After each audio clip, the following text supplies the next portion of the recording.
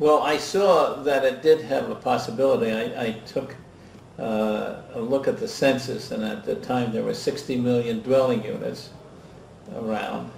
And then I uh, figured out, well, what if I put a dimmer in every one of them? And then I multiplied by what it was selling for at that time. And thought, gee, this is this could be a reasonable business. So it had potential.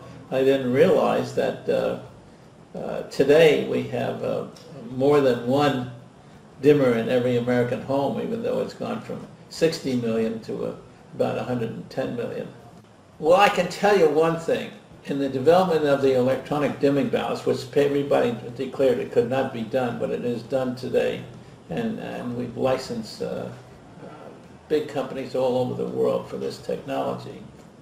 I started out and I had had to use a semiconductor, a transistor, a big power transistor that cost $300. And the first thing I did is I put it into the circuit, I turned it on and bang, it died. So I was a little uh, vexed at this and I didn't do anything for the whole day trying to figure out what I did wrong.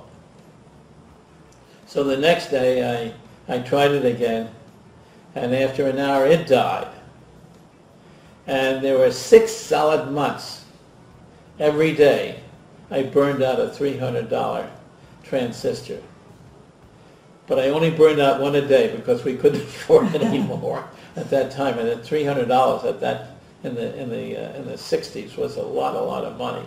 An engineer's life is full of junk. But I mean, you see, you always you're always working on the thing, uh, and it's junk until it, it's been made to work. Then it works.